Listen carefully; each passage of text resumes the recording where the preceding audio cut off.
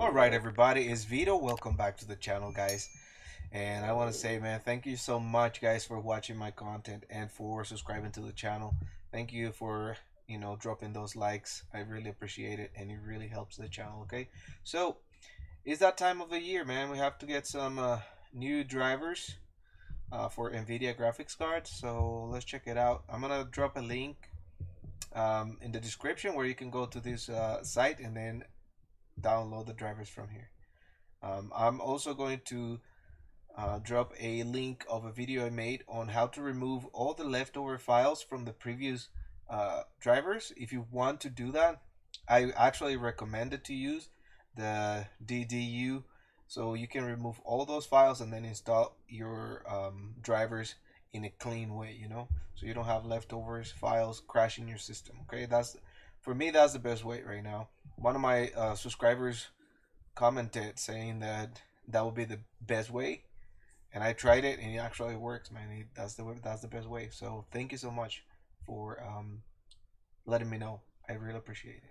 So once you get here to this site all you're gonna do is fill out this uh, all the information about your system.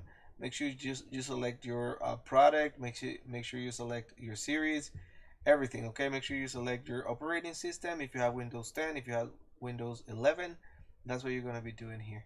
Language and everything then you search and then it's going to search for um, the new driver. And here it is okay?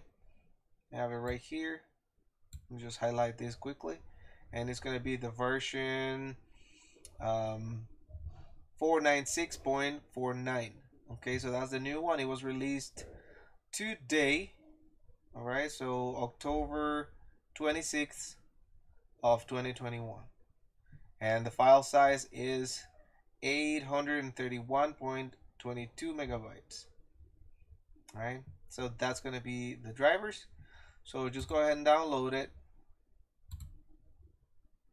And if you want you can download the geforce experience. I try i used to like have my geforce experience running all the time but i noticed that it you know it takes some of the resources that your computer needs. So all I do is download the drivers and then when he asks me if I can if I want to install the GeForce experience I just say no and I just go ahead for the drivers. Um, but I go and, and use the DDU first to remove all my old drivers and then I do the clean installation. So I'm gonna leave you a link and then you're gonna see how you can do it safely um, and that's the best way to do it guys. I recommend it that way. Alright guys so that's gonna be the video. Um, I just want you to remember use DDU to remove all the leftover files and then do a clean installation of the new drivers guys. That is going to prevent all those crashes that some of you are experiencing when you're playing games and stuff like that. Okay guys don't forget to leave a like and subscribe to the channel. That really helps. I'll see you in the next one